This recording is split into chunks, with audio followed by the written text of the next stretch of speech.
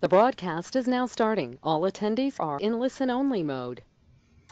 Hello again, everyone, and thank you for joining us for another CEPA webinar. Today's webinar is titled How the Field of uh, Electrophysiology Relates to the Clinical Exercise Physiologist. Our presenter is Ciji Shields. And just a brief summary on this webinar. Uh, it's a general overview of the EKG and review of the Einthoven's triangle. Um, for a quick recognition of uh, atrial and ventricular arrhythmias, uh, explanation of the field electrophysiology and what is done during the EP study and different ablation procedures will also be discussed. And finally, uh, uh, we will look at how uh, we relate this field of EP to clinical exercise physiologists and how these two fields can work together uh, for the betterment of the patient. Uh, just a, a, brief summary on uh, Ciji. She's been working in the field of electrophysiology for the uh, past 18 years after completing her master's in exercise physiology from Syracuse University. She's had several appointments uh, as an electrophysiologist. Uh, she's worked for Biosense Webster for over 10 years, helping to develop the CARTO system but most recently, she's uh, has an appointment at the University of Texas uh, Health Electrophysiology Heart Cardiovascular uh, Training Program. So I'd like to uh, give uh, uh, Ciji the the floor here, and I would also ask that everyone please, if you do have questions, we will answer them at the end of the the webinar. All right, so enjoy. Thank you. Thank you. Um, again, hello, everyone. Welcome this afternoon to this webinar. Uh, my name is Ciji Shields, and I am down here at the University of Texas uh, McGovern Medical School in the EP Heart Cardiovascular EP Training Program. Um, give you a little idea of what we're going to do today. Get my computer going here. So our, object, our objectives today, we're going to review the EKG just on a quick, uh, quick basis know what the frontal leads and precordial leads and how they relate to EP. I'm going to define electrophysiology. So anytime you hear me say EP during this presentation, I'm talking about electrophysiology. Just makes it a little easier to say EP. Uh, we'll talk about catheter placements, kind of the inner cardiac signals and what we see inside the heart when we're in these studies. Uh, identify and analyze some basic arrhythmias, and then we're going to put it all together. So throughout the presentation, I'll kind of relate it to how it may work in your field, um, what we're doing in the EP lab, and how that relates to what you might see in, in cardiac rehab or doing stress tests or something to that, and maybe in the hospital setting. So a little bit about the EKG. We all should be fairly familiar with it. Um, it gives us the physician a good understanding of what's currently going on and what has occurred in the past.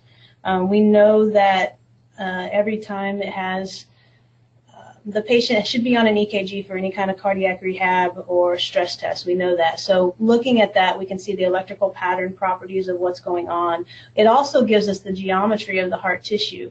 It lets us know if there's an axis change or some sort of deviation and the metabolic state of what the heart is at that particular moment in time. Um, it's a wealth of information and it's used as a, in a wide range of non-invasive tests. So on the flip side of that, uh, there is a cautionary note to the EKG. Um, there will always, always, always be some sort of electrophysiological phenomenon which will not conform with anything that you're you're aware of. Um, we see it every day in the EP world. Uh, they had a tachycardia out in uh, in just out in society or whatever normal daily basis and we look at the EKG and we think it's coming from one spot and then we take them to the lab and it's coming from somewhere totally out, totally different just because of that patient and what's going on with their status and antiarrhythmic drugs that they may be having or some sort of metabolic disturbances. So always remember that the EKG is there. It's what we look at as normal, but at the end of the day, there always will be some sort of unexplained unexplained phenomenon going on sometimes. Um, just a quick overview. Again, the 12 lead placement, um, right arm, right leg, left arm, left leg, and the precordial leads. Uh, important for us in the EP lab that these are put exactly where they're supposed to be put. I know sometimes in um, not in the lab, they get put a little lower, a little higher, maybe not in just the exact location. Um, but when we are in the EP lab, we make sure that the the leads are put on correctly.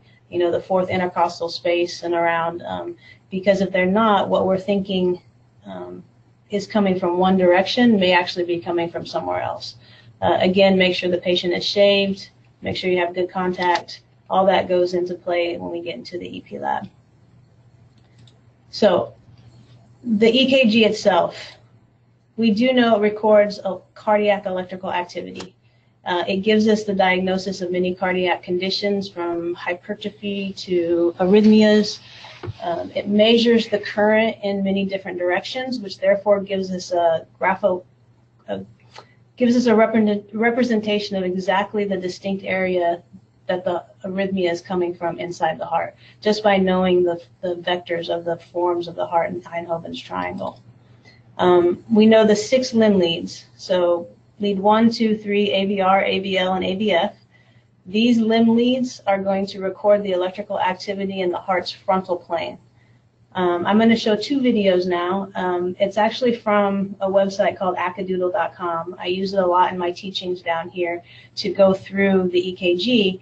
Um, the presenter gives a very good um, definition of looking at the limb leads and then the precordial leads, along with some good presentation of the, the vectors and stuff. So sit back and watch these couple videos here. So this is on the frontal leads. Remember, the frontal leads examine the flow of depolarization and repolarization through the heart in the vertical frontal plane. And as we've just seen, in the frontal plane, we have two major depolarization vectors traveling through the main muscle mass of the left ventricle. One moving predominantly downwards and to the left from the anterior fascicle, and one moving in a predominantly leftwards direction from the posterior fascicle. In most normal individuals, these two depolarization vectors travel simultaneously through the left ventricular myocardium and dominate the QRS morphology in all frontal leads. But as they are moving in different directions simultaneously, how do they interact together to determine the QRS morphology in the frontal leads? Well, if we add them together using the parallelogram rule, we find that they generate an overall vector traveling downwards and to the left at approximately 60 degrees relative to lead 1. Using the principles we learned in our previous videos, we can see that this vector is well within 90 degrees of the inferior leads. So the QRS complexes are expected to be strongly positive in these leads, with dominant R waves. It is also well within 90 degrees of lead 1, so this lead also tends to have a strongly positive QRS complex. Note, however, it is traveling almost directly away from lead AVR, so it produces a negative deflection in this lead. Note also that at 60 degrees relative to lead 1, the overall vector is traveling at 90 degrees relative to lead AVL, and the QRS complex in this lead is therefore expected to be of low or even no amplitude in accordance with the vector principles we have discussed. Again, we note that septal depolarization begins before the main muscle mass of the left ventricle depolarizes. And in this plane, septal depolarization is not only moving from left to right, but also upwards from the diaphragmatic aspect of the septum. So this early septal current is moving away from the inferior leads. Therefore, it is not uncommon to see physiological Q waves in these leads and an initial R wave in AVR.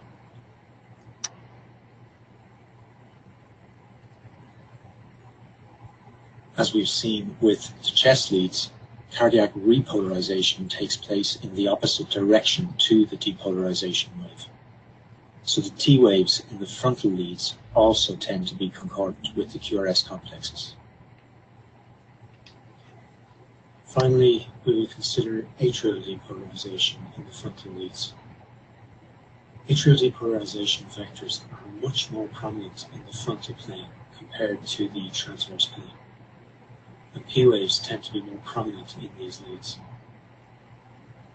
As the SA node is situated high in the right atrium, atrial depolarization spreads predominantly downwards and to the left in this plane, producing strongly positive P waves in the left-sided and inferior leads, particularly in lead 2. As these forces are moving away from lead AVR, the P wave is negative in this lead.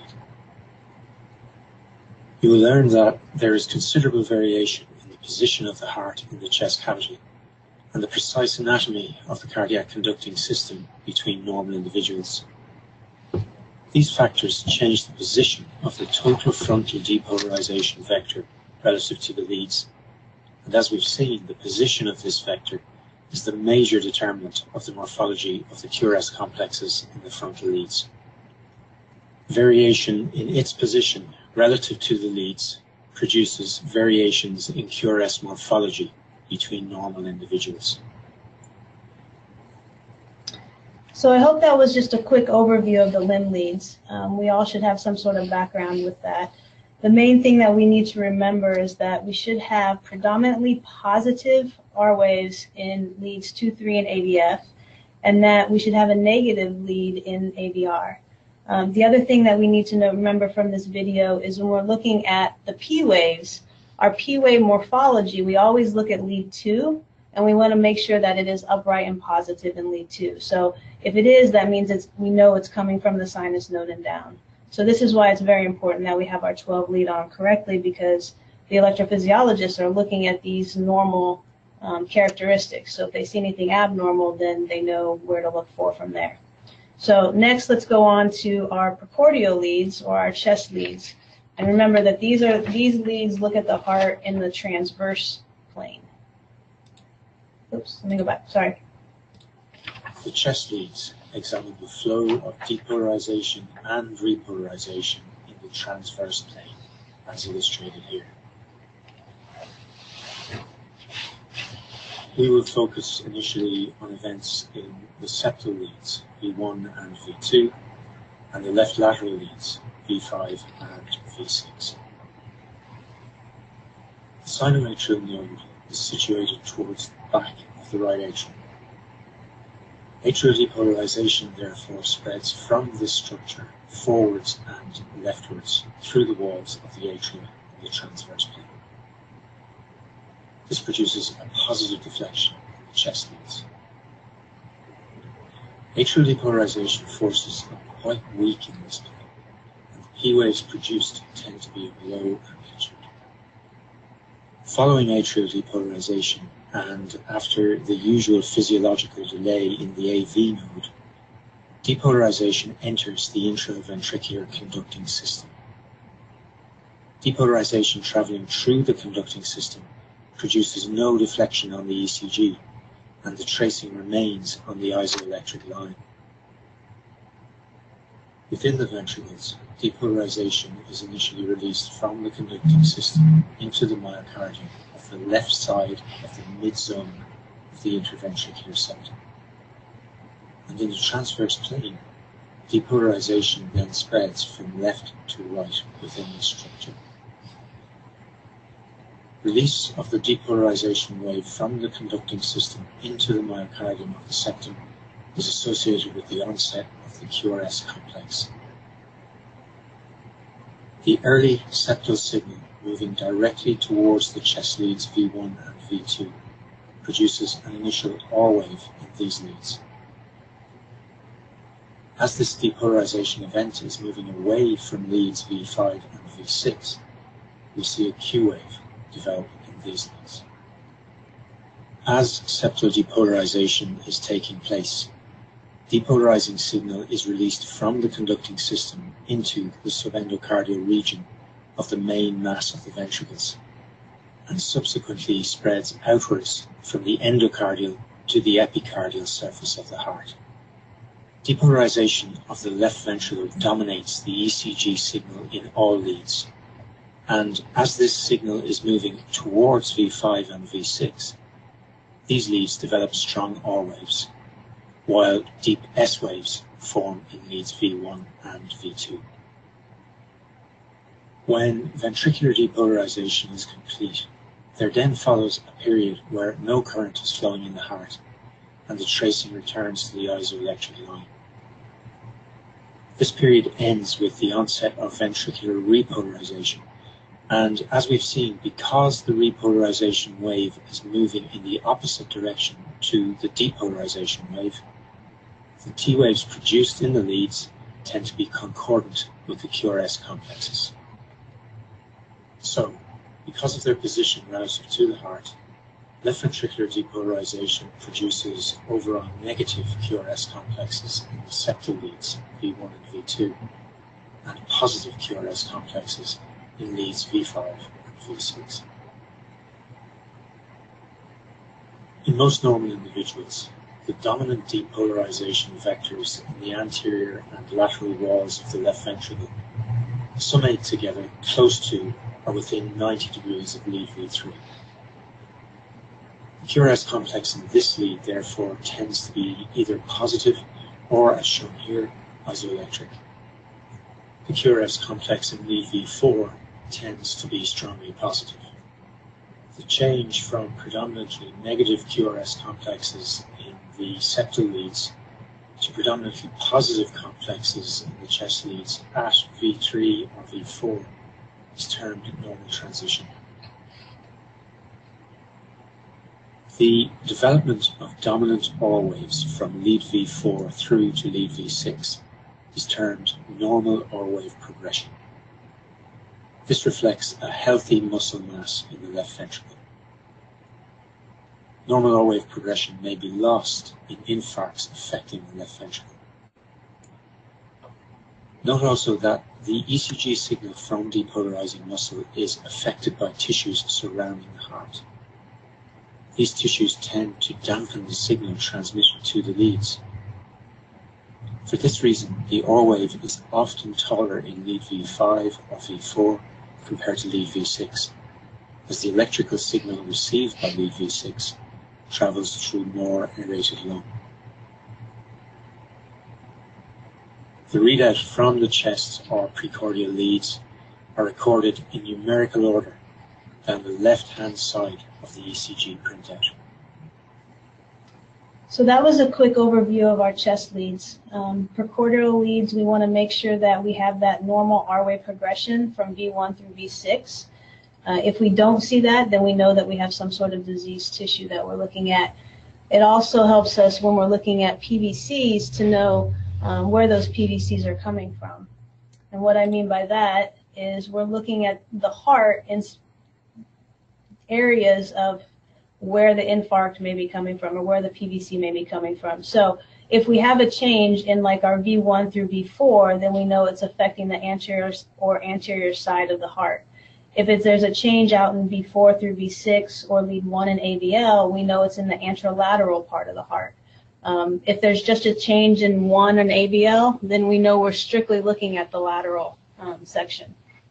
Inferiorly, we look at 2-3 and AVF. Um, 2-3 and AVF are important to us. Um, most of the heart actually sits below 2-3 and AVF, so that we know if there's a positive deflection in that, we know the, the arrhythmia is coming from the top going down. If 2-3 and AVF happen to be negative, then we know that the arrhythmia starts at the lower base, lower apex of the heart and is traveling upward.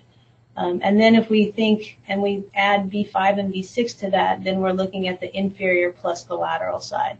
So having a good understanding of Einthoven's triangle and the directionality of the vectors gives us an idea of where those arrhythmias are coming from. And this is basically is what EP is all about. Um, we're just taking the EKG and we're looking at the surface, and then we go from here and we go actually inside the heart. So basic rules to remember for your EKG. It's a standard 10 second printout. Um, 2, 3, and AVF are inferior. AVR should never be positive. You can remember that. It should never be positive. If it is, then we definitely have some sort of axis deviation going on. QRS should be dominant and upright in leads 1 and 2. Um, the QRS and T wave should have the same general direction in the limb leads. And then you should have your R wave progression. The R wave should grow from V1 to at least V4. The S wave must grow from V1 to at least V3 and then disappear by the time it's in V6. Um, your ST segment should stay isoelectric. Um, we know if we get some ST segment depression or elevation, then that's telling us we have some sort of ischemia going on. And then when we're looking at our P waves and our atrial arrhythmias, we want to make sure and look, a normal P wave should be upright and positive in lead two. Um, lead two is where we're generally looking. It will be upright in one and V2 to V6, but overall we want to look at um, lead two. So those are just some general rules to remember. If you can remember those, then you have a good idea of what a normal EKG should look like. So now, taking our normal EKG, I want to go a little step further and we're going to go into the world of electrophysiology. So when we go into an EP lab, um, the patient had some sort of tachycardia, some sort of arrhythmia going on. It's been documented. And so the EP doc is going to take them into the lab and we're going to find out where this arrhythmia comes from. Uh, how do we do that? Well, what we do is we take catheters that have electrodes on them. These catheters can have four electrodes, six electrodes, eight, ten. They can have up to 20 electrodes, and they can be spaced in different spacings to give us an idea. Um, we will generally put four catheters in, and these four catheters have specific places in the heart that we want to look at. So first, we'll put a high right atrial catheter in. This catheter will sit up by the SA node, and it's going to give us an idea of what's going on in the atrium. So if you look here, you'll see your normal EKG. That's your surface that you're used to looking at. And then this signal right here is the signal that is actually coming from exact specific location of where that catheter is inside the heart. So it's called an intercardiac signal. So this is an atrial intercar excuse me, an atrial intercardiac signal that corresponds with the P wave of the surface EKG. Um, the next catheter we put in is going to be a HIS catheter. Um, this catheter is very important because it's going to lie at the level of the AV node. Um, we all know that the AV node is our is our connection between our atrium and our ventricle. The conduction system has to go from the SA node to the AV node down to the ventricle. So we put a catheter there and we know it's at the level of the AV node because we get three distinct signals. We get an atrial signal, we get an H or a His signal, and we get a ventricular signal. So this His signal here in the middle, this H, that is actually your AV node. Um, that tells us where the AV node is located in the heart so we can avoid it, so we don't want to necessarily burn it or make any damage to it. And it'll also give us an idea of conduction delays and where that conduction delay is. Is it above the node or below the node? The next catheter we'll place is a coronary sinus catheter.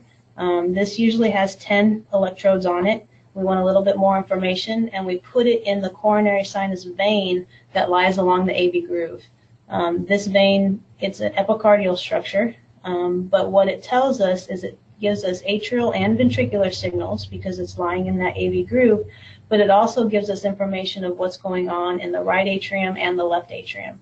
So we know if, you know, signals on 1, 2 come before signals on 9, 10, we know that that arrhythmia is originating in the left atrium versus the right atrium. And then the last catheter we put in is a ventricular signal.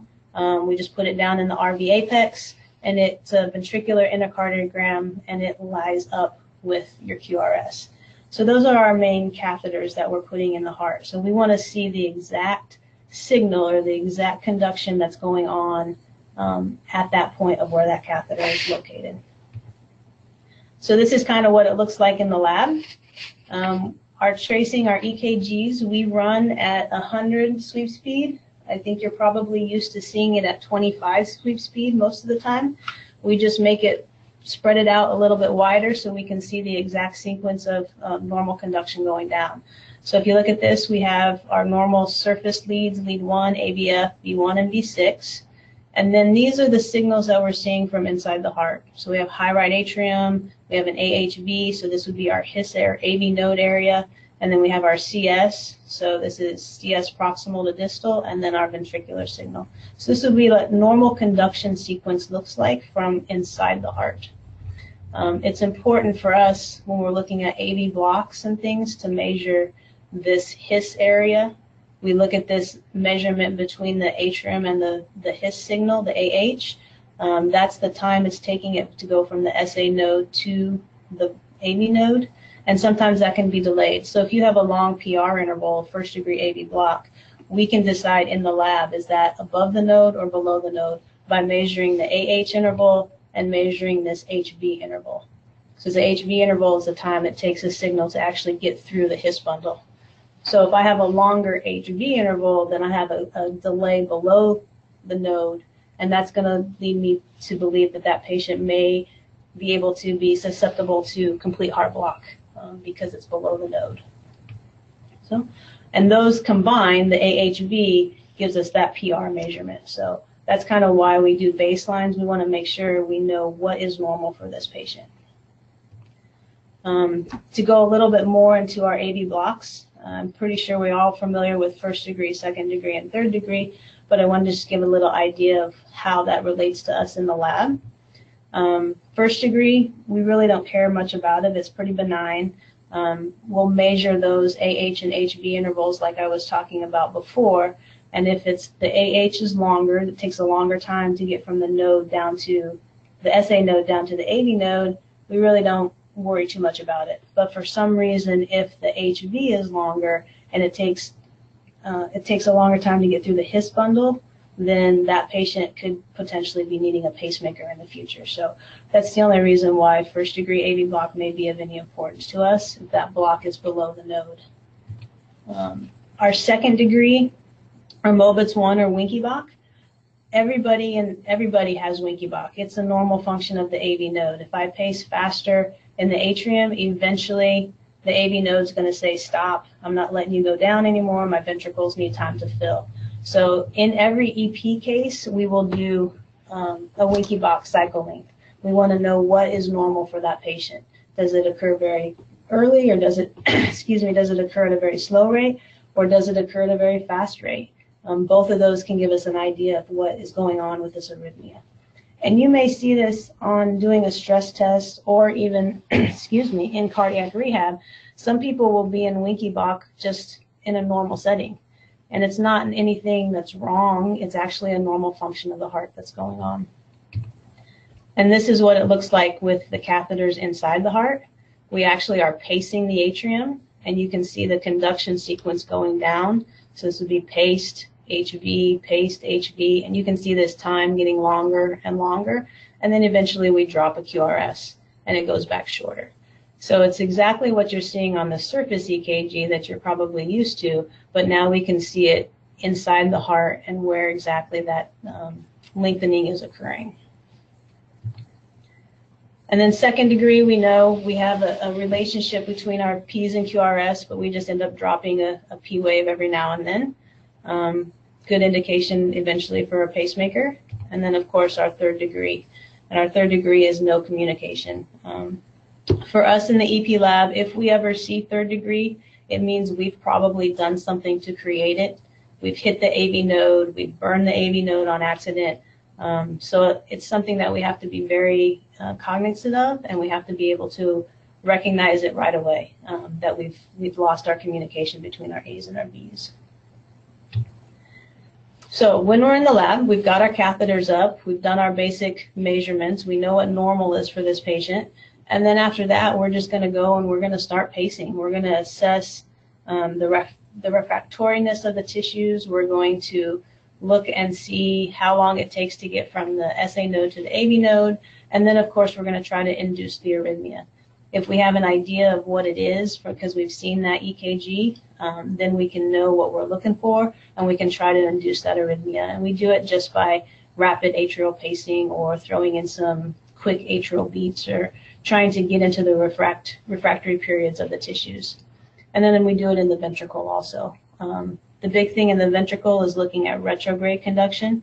Can your can your ventricles um, beat and then send a signal back up to the atrium? Um, many arrhythmias occur because of that retrograde conduction back. Not everybody has it. Some people have it and it doesn't do anything, and then other people have it and it creates arrhythmias. So we'll get it a little bit into what we're seeing and how we're doing it. Um, Our atrial arrhythmias, like we talked about before, we're always looking at P waves and we're always looking at lead 2. Uh, it should be upright and positive in lead 2. If it's not, then we have some sort of arrhythmia going on. Um, if it's pointed, maybe it's a PAC, it can be squiggly. If it's inverted in lead 2, that just tells us that the arrhythmia is coming from down low in the atrium instead of the SA node. So you've got some sort of ectopic focus going on that may be creating an atrial tachycardia. Um, you could have a TP phenomenon. That just means the P wave is kind of buried in the T wave. This happens a lot when you see a, a fast, narrow, complex tachycardia. So if you're doing some sort of test with a patient and all of a sudden they go into a fast, narrow, regular, complex tachycardia, you may not see a P wave. Um, and then the sawtooth, this should be pretty familiar to everyone. This is your typical flutter, that sawtooth pattern. And then this one is atrial fibrillation. You have no discernible P waves. Um, it just kind of irregular, erratic atrial activity. So looking at this, I just kind of wanted to give you a quick idea in case you might see this in the lab um, or doing something uh, with a patient. If you have a very fast rate, very regular rate, um, both of these are going at 150 beats a minute. Um, the difference, though, one of them is an atrial tach and one of them is an atrial flutter. And the way we know the difference is looking at this isoelectric line. Every time this EKG comes down, we have a nice isoelectric line. So that means we have a P buried in this T wave. Um, so that's an atrial tach. Well, here we have this sawtooth. We have this wavy baseline, I guess, so to speak. So here we have basically two P waves for every one QRS. This is a two to one conducted atrial flutter. Um, just kind of gives you an idea of the difference of the mechanisms just by looking at an EKG. So if I take this atrial tachycardia here and I bring this patient into the lab, this is what we'll see inside the lab. We've got our normal EKG, our surface up here, and you can see the P wave is actually inverted. It's inverted here in one and it should be positive. And then here's our CS channels, our His, and this is our ablation. Um, we put a catheter in the heart and we rove that catheter around looking for signals. And every time we rove it around, then we'll see and we'll take points and we'll create a map that I'll show you here in a second. So if you see this is the P wave and this is our signal, it's very low and fractionated and it's very early everything in EP is all about what's earliest because if it's early, then it's beating out the SA node and it's causing the tachycardia to start. So here, this spot is 52 milliseconds earlier than the, the normal P wave. So for us, we're saying, hey, that's that's early. That's probably where this tachycardia is coming from. So we take that information and we build this this map. And this here is where a lot of um, people with our degrees kind of come into the medical device industry, so to speak. Um, they are the ones who are running these 3D mapping systems for the companies out there like Boston Scientific, um, Biosense Webster, and Abbott or St. Jude's. So we take the signals from inside the heart, these intercardiacs, take points, and we create these maps. And what these maps tell us is uh, red is early. So this spot right here is where that tachycardia is coming from. So we've taken all these points, we've measured them or, or compared them to a, a stable position, and we found out that that atrial tachycardia is coming from this one spot. And so we can take our ablation catheter and we can burn the tissue right there in the heart, and that tissue then is now dead, and so that it can't fire. So now the atrial tachy- tachycardia stops.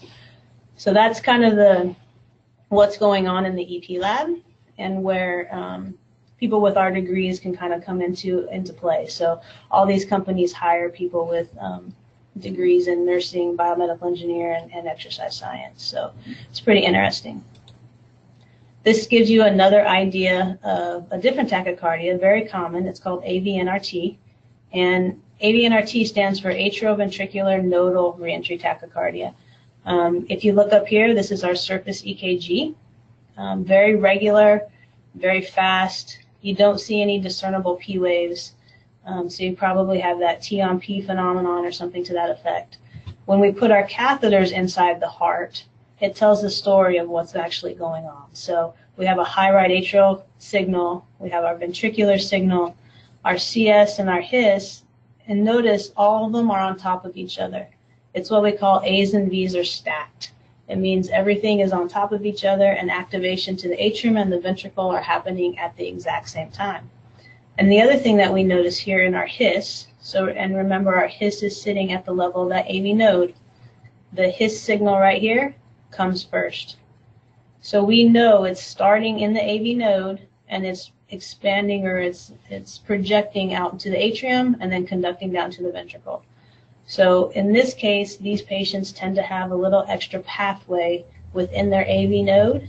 Um, and we can go in, once we induce this, we know exactly what it is, and we can do a burn of the slow pathway, and this patient will never have um, AVN, AVNRT again. So it makes you feel good that you can cure a patient with um, a one little burn and, and be done, and they will never have it. Um, this gives you an idea of typical flutter. So you're probably pretty used to seeing the sawtooth pattern on the EKG, but when we go into the EP lab, we actually see the circuit and how it's working in the heart. So here you look at your colors. So start like the rainbow, red, orange, yellow, green, blue, violet. And the red and the violet meet each other. So we know it's a circuit. We know it's just continually going around and around and around, similar to like a dog chasing its tail. Um, so this is what typical flutter, those sawtooth atrial pattern that you're used to seeing on an EKG, this is what it looks like inside the lab. So the person sitting at the system has taken all these points and they've created and actually found where the circuit is going. And in typical flutter, the circuit goes around the tricuspid valve. And so at this point in time, we have to decide, okay, I know where the circuit is. How do I terminate it? How do I burn it? And for this case, we just burn a line from our valve down to our IVC. So it kind of looks like this. We have a catheter inside the heart. This is a 20 pole catheter. It's giving us all these signals coming from inside the heart. We've burned a line um, between the thing about 6 o'clock on the tricuspid valve down to the IVC, and that stops it. And then we can do testing to determine whether or not our line is, is good or not. So we can, again, this kind of um, case is very successful. It's about a 90% success rate for the patient, but they won't ever have typical flutter again. AFib has been a hot topic lately. You see it on the news, you see it on, on TV. Um, we've learned within the last probably 10 years, which is fairly new, that AFib originates from the pulmonary veins in the left atrium. So if you look up at your surface EKG, it looks kind of erratic. You have a sinus and then a PAC and then sign a couple beats, but you don't see P waves. Um, but when we look inside the heart at our inner cardiacs, we can tell exactly that wherever this lasso catheter is sitting, that um, it's firing, and it's firing and getting to the atrium, which is causing the atrial fibrillation. So, for an AFib ablation, we actually go in and we will isolate um, the pulmonary veins. So we burn around them. So if you see here, in this case, we've burned around the veins and you've got normal sinus rhythm. This patient, it looks wonderful up here, normal sinus. But then if you look at this catheter that's sitting in the veins, it goes into AFib. So you see the erratic um, signals here, but they can't get out to the atrium because the atrium's still in normal sinus rhythm. So we've done our job. We've gone in, we've isolated this vein so it can fire all it wants, but it's not going to get out to the atrium, and that patient won't have AFib anymore. Um, so it's very pretty cool. Um, so those are kind of our atrial things that we look at, basically atrial tachs, flutters, um, AFib. We also do some accessory pathways and things like that. Um, in the ventricle, again, we mainly will focus on PVCs or premature ventricular contractions and VT. Um, PVCs can occur uh, in a normal, healthy individual. Uh, for whatever reason, they have a spot in the ventricle that just decides to want to fire, and they can be of different morphologies. And that 12 lead, when you when it's on the patient, is actually giving us an idea of where that morphology is coming from. So we have an idea actually going before we go into the lab. We can say, oh, this is coming from the RVOT or the right ventricular outflow tract, just by the way it looks on the surface 12 lead EKG. So what we'll do inside the lab, if you kind of get an idea, is look over here at our rhythm, we have a sinus beat, a PVC, a sinus beat, a PVC. So this patient's actually in bigeminal PVCs. Um, so what we will do is they'll take a catheter up, and every time the patient goes in a PVC, they'll take a point, and then they'll look at those signals from inside that heart as to exactly where that PVC is coming from. So again, red is early, and early in EP is where we want to go because that's the spot that's causing the arrhythmia. So at this point in time, they would take an ablation catheter and burn right at this spot. And when they burn there, that should terminate these PVCs because that tissue can't fire anymore. It's dead. So this is ultrasound. Um, we use ultrasound in the EP lab. You can see the aortic valve is going right here, and this is the pulmonic valve over here. So this is like the RVOT area, or the right ventricular outflow tract um, in the right ventricle. So very common location for someone to have PVCs who doesn't have any structural um, heart issues. And this just gives you another idea. So we're taking fluoro images, which is 2D, and we're creating these 3D maps um, to find the location of where this PVC is coming from. And looking at the 12 lead, you can tell it's 2, 3, and AVF are positive, so we know it's coming from up top. And then we have actually concordance across all precordial leads. So this is coming from the LV summit, which is way up around out the, the coronary sinus up by the aortic valves. And this just gives you an idea of, again, that picture. And this is the area that we burned, and then that PVC went away. So you can see the signal here is very early. This is the start of the PVC. This signal comes way before. Um, so we know that that's a good location to burn that, excuse me, burn that PVC. And then VT, we all, we've all heard of VT. VT usually happens in our sicker patients. Um, they've had some sort of uh, MI in the past. They've had some diseased tissue. Um, for the EP, when we're doing a VT case, we'll actually bring the patient in and we don't necessarily induce them into VT because we know that they're not stable. And so we will do it in sinus rhythm. And when we're in sinus rhythm, we actually look for these late fractionated signals. So this is all just normal sinus. We move our catheter around and we see these late fractionated signals. And that tells us it's diseased tissue, which gives us an idea that maybe a, a circuit can go through there.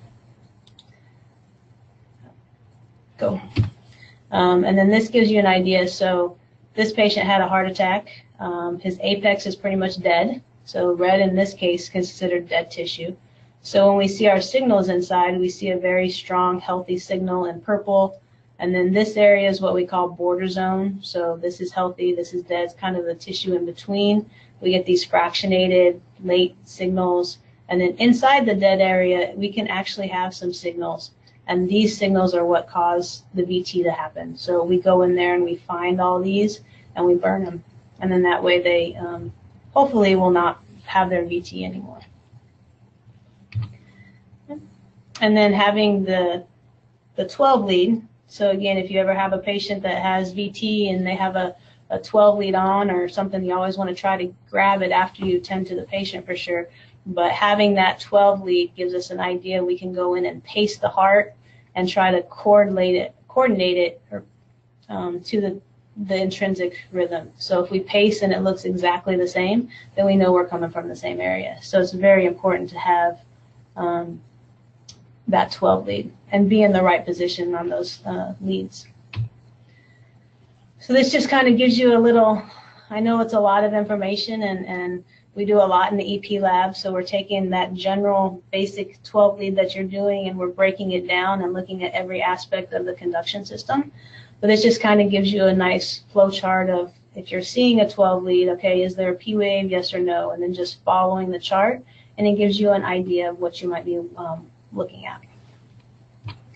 So some final thoughts. Um, EP is, is actually just taking the EKG to another level. We're looking at the electrical signals from inside the heart to find and terminate the arrhythmias that are occurring. Um, we create these 3D electroanatomical maps um, with all the information that we received during the procedure with our catheters inside the heart looking at the intercardiac signals. We are able to take the 2D fluoro image and make it into a nice 3D map, which then allows the physician to burn where they need to burn to terminate the arrhythmia. Um, it is one of the fastest growing fields in the medical device in- industry. Um, it's growing at a double digit rate right now, and it's projected to continue to grow at a double digit rate for the next few years. Um, they're always, always looking for talented individuals. Um, and again, the main degrees that we're looking for are exercise science, nursing, and biomedical engineers. Um, the main companies out there, the Boston Scientifics, Abbott's, Biosense Webster's, um, they are hiring and looking for those people with these degrees. So we just want to make sure that you're aware.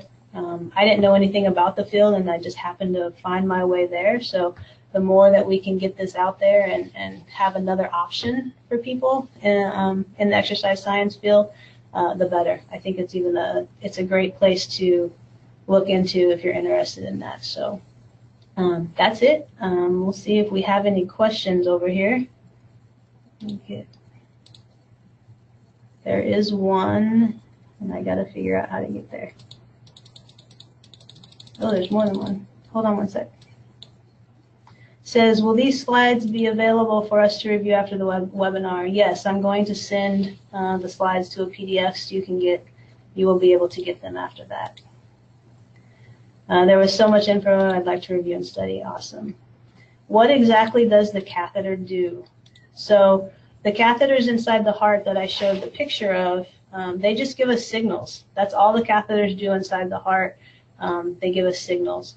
And then we have, we put up a specific catheter called an ablation catheter, and that catheter is able to actually burn the heart tissue using radio frequency energy.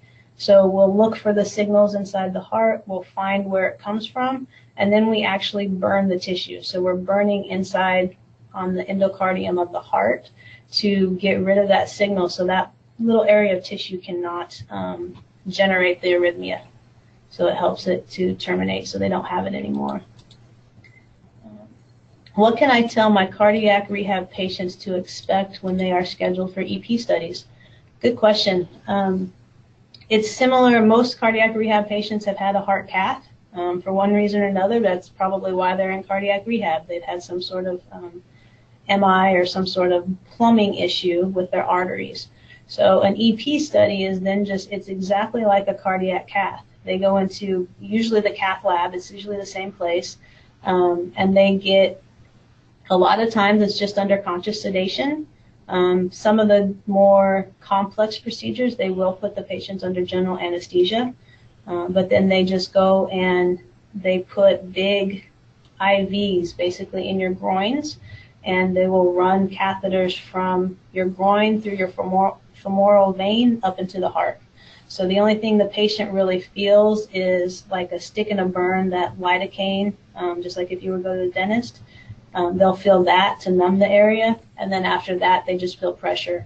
Um, when the catheters go up in the heart and we're pacing, sometimes they might feel the pacing just because we increase their heart rate, um, but there really is no pain. Um, they're just kind of there. They if they go if we can induce them into their arrhythmia, then they might feel their arrhythmia. They might feel their heart going fast. Um, when we're burning inside the heart, um, most patients actually don't feel it. Um, sometimes if they do, they'll feel arm pain, like uh, like heart attack, arm pain, kind of shoulder pain, and then as soon as we stop burning, it goes away. Um, so it's a pretty easy procedure, I should say, uh, regarding the patient. I mean, they come in, it's exactly like a heart cath. We're going through the same area, uh, through the groins up into the heart. Um, so most of the time, they will st- stay the night just to observe for the night, but other than that, uh, if it's an easy procedure, they may even go home the same day. Um, so that's kind of what they can expect to do an EP procedure. So I think that was all the questions. Let me just double check. How can I how can I describe the procedure to the patients? Um, best way to describe the procedure is looking at looking at the conduction system of the heart. You know, they're they're trying the EP is trying to find where that arrhythmia is coming from, and once they find it, they're going to um, take care of it. That's kind of how I've always uh, told patients that, that ask that question. Um, we go up into the heart, we look at the conduction system, we look at the electrical activity of the heart, we find exactly where that um, arrhythmia goes, is coming from, and then we burn the tissue there. And normally they don't feel it. Um, a lot of times they're just under conscious sedation and, and don't remember it. So I hope that helps. Mm, Let's see, any other questions?